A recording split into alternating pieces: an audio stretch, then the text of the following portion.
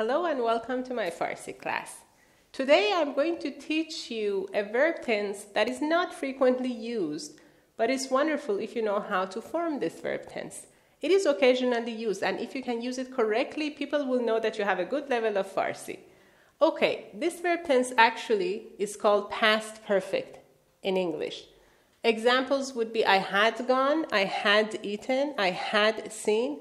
So, what is past perfect? Technically, past perfect tense refers to a modality of past tense that is very far, which means if we had two actions in time, so if this is a timeline, one action happened here, another action happened yet further back. So, this is called past perfect, whereas this one is called simple past, right?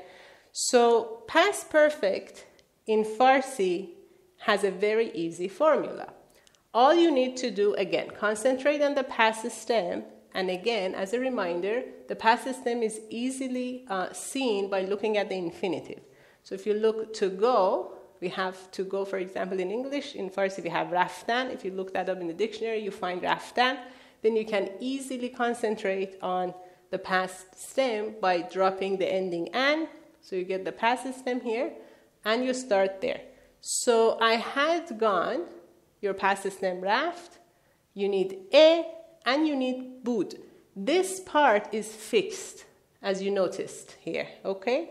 So basically, you start with your past stem, you, pa- you put a, the hook, and then you put bud, which is a fixed word, and then you apply the ending based on the reference. So if it is I, the ending is am. If it is you, singular informal, the ending is e. If it is singular formal, or plural, the ending is in. I have given enough explanation about how you know to work with the endings in the previous lessons, so you might want to review those. Okay, one more time. I had gone. رفته بودم. You had gone. رفته بودی if you're talking to a friend, or رفته بودین if you're talking to your boss or you're talking to a group of people. Okay? So that's past perfect tense for you. Fixed part fixed formula. You just replace the stem here, the past stem, and you put the proper ending.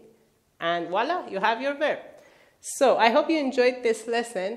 Remember, I have published a book which is called 110 Conversational Verbs in Farsi.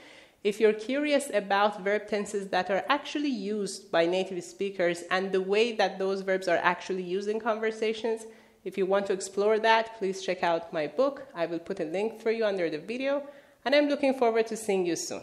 Khodafez!